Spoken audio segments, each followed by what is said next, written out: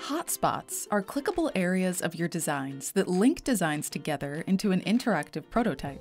If you're familiar with prototype interactions in Figma, you'll be happy to hear that UXtweak will automatically transform these into hotspots when you import a Figma prototype that already has them. In one-to-one Figma mode, all interactions will work exactly as they do in Figma. However, if you need to make any adjustments, you'll have to make them in Figma.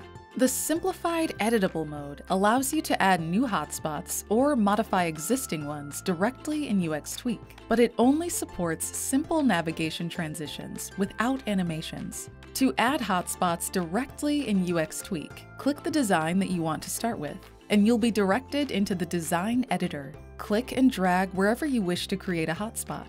After you select an area, a pop-up will appear where you can select which design a user should be navigated to after clicking the hotspot.